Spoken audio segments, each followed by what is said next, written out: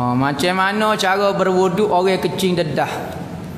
Prostat lah. Nama kecing dedah ni air kecing tu titik semacam. Bererti dia batas semacam air semaya dia. Muka titik keluar sesuatu daripada jalan depan jalan belakang. Kita tengok dulu nyakit dia setara mana.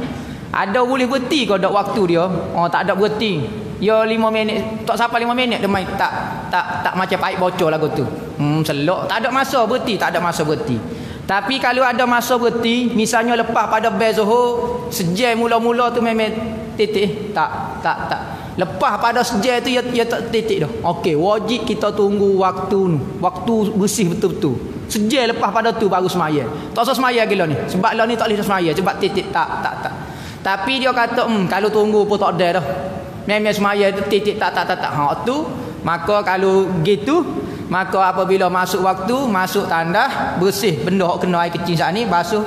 Maka ikatlah bubuh tisu kau apa dia. Masuk underwear kita kepit tisu tu lipat di angry bird kita tu lipat. Okey pakai jangan ikat tu seloklah kawan tu sallallahu rabbuna biru muka. Buat apa semaya jadi nampak biru? Takut tu hai kau apa dia apa nyak ikat dengan getah seloklah kawan tu.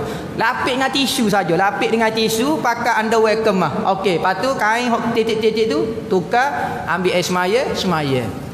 Lepas tu nak tunggu semaya Jumaat? Boleh, tak ada masalah apa. Nah, tunggu duk semaya sunat, duduk jauh-jauh dia. Takut takut titik kau gapo dia. Ha, gi semaya. Allah akbar, bok jatuh tisu. Sallallahu rabbuna. Ketar kawe tu nak ambil kau tak si ambil. Nak ambil kau tak si ambil. Ah, oh, masalah sudah. Nama kawe tu sebelah. Hmm, tak ada apa dah lah. Nah, kena buat lagu tu deh. Ikat tu, lepas tu ambil semaya, semaya segera. Tapi kalau nak tunggu Jumaat tak apa. Bila kau wuduk Bila kau wuduk perlu diambil. Maknanya kena masuk waktu dulu nah.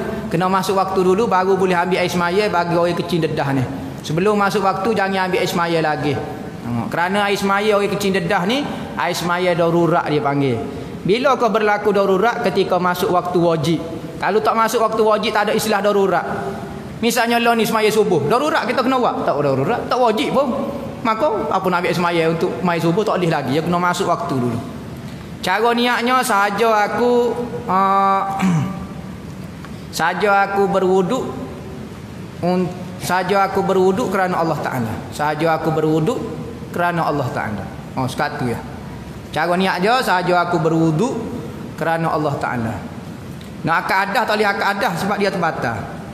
Ada niat lagu ni saja aku berwuduk nak mengharuhkan sembahyang. Saja aku berwuduk nak mengharuhkan sembahyang. Akadah tak boleh sebab dia batas macam. Tak boleh nak akadah. Ha. Boleh ke orang sakit prostat sembahyang berjemaah? Boleh. Sembahyang berjemaah. Cuma tu hamba royak kena duduk jauh pada orang kalau jatuh tisu pun wak lolok kuih dengan kaki wak lolok tak nampak. Namo, biar duduk jauh dengan orang, biar lagu tu lah. Nak sembahyang depan boleh, jatuh tisu depan orang. Gitu lah. Namo, nak sembahyang jemaah tak apa. Boleh. Sembahyang fardu setiap kali sembahyang fardu kena ambil air semaya. Setiap kali ambil air semaya fardu kena ambil air semaya sebab dia batas macam air semaya. Semaya sunat boleh semaya banyak-banyak pun tak apa.